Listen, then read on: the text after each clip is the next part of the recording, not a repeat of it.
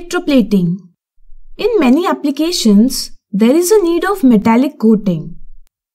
Your new bicycle has shiny handlebar and wheel rims.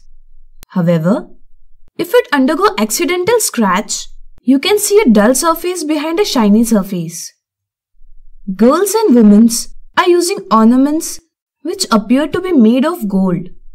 However, after some days, the coating goes off, exposing the actual metal. There are many such applications where you can find coating of one metal over other. The principle behind making coating of one metal over the other is called electroplating. Let's learn about it with the following activity.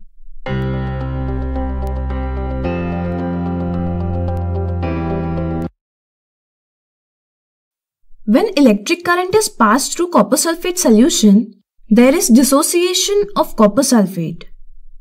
Dissociation signifies separation of positively charged copper ion from negatively charged sulfate ion.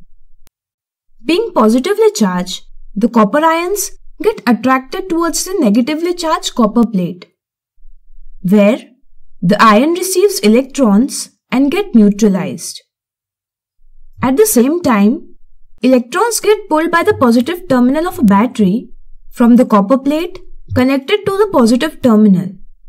As a result, a neutral copper atom gets converted to ion. The ion move in solution. Can we say copper atoms move from plate connected to positive terminal to the plate connected to the negative terminal? Yes, absolutely. The process continues as long as current flows through the solution making a coat of copper on the plate connected to the negative terminal. Such a process of depositing a layer of any desired metal on another material by means of electricity is called electroplating. It is one of the most common application of chemical effects of electric current.